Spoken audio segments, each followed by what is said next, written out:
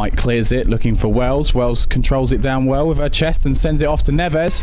Wells makes a nice forward run. Neves goes for the curling ball. It's going to fall to Wells. Wells, ne- she needs to bring it down, and she just doesn't quite get enough power on the ball. Ball is cleared away. Howell is easily able to get there, and she sends Clark through. Clark hesitating whether to go on her own. She goes for the shot. It's curling just away from the post.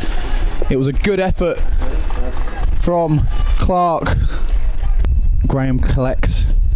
Graham looks to send Butler through. It's a fantastic pass. Butler needs a good first touch. First touch is all right.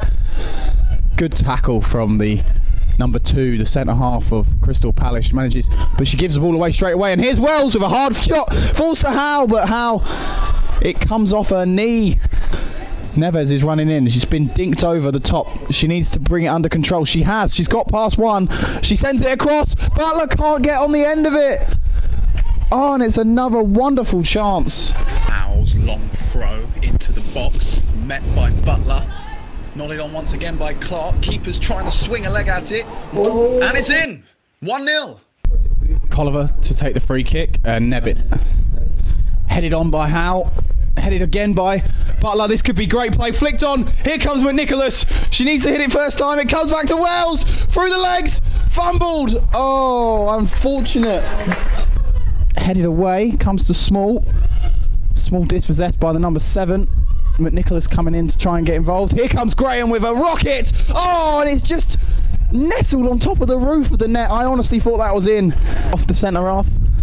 It comes off, it cannons is off McNicholas, and here's an opportunity. Wells could send Butler through. Wells goes for the shot herself. It cannons off the leg, and now Halford needs to put the pressure on the right back here, and she does good enough to send it out for a throw. A Campo to get on the end of it, and Sutton are through to the final. It was physical, it was tough, but it doesn't matter because Sutton United are into the final thanks to Darcy Wells' goal.